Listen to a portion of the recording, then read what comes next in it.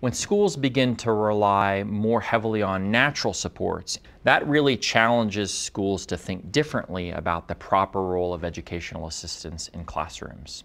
In many schools right now, the educational assistant is viewed as an individually assigned support to that particular student. And so they're always there right next to them, ensuring that all of the students' academic and social and behavioral needs are met. So when you begin to think about peer support arrangements as an alternative to that, that means the roles of educational assistants start to shift.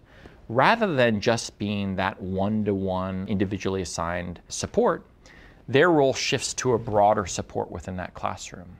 So instead of just working with that student, they may start to help the teacher in meeting the needs of all students in that classroom. So as uh, peers start to take a more active role in supporting their classmates with significant disabilities, the educational assistant's role might be to model some of those support strategies for the peers.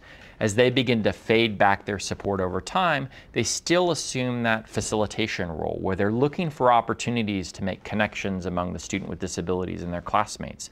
So they might be making sure the assignment that's coming up is appropriately modified for the student um, so that when it comes up in class, the peers are ready to participate in that class activity. One of the other roles that they can assume in the classroom is to take a more active role in data collection.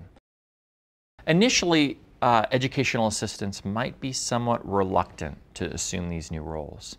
Uh, often when we've defined their role as being a one-to-one -one assistant, if we're asking them to fade back the support, they tend to think, well, what are other people going to think about me? They're going to think I'm not doing my job. And so it's really important to clarify for these educational assistants that the goal is for students to become more independent and that actually their fading back of support is a desired outcome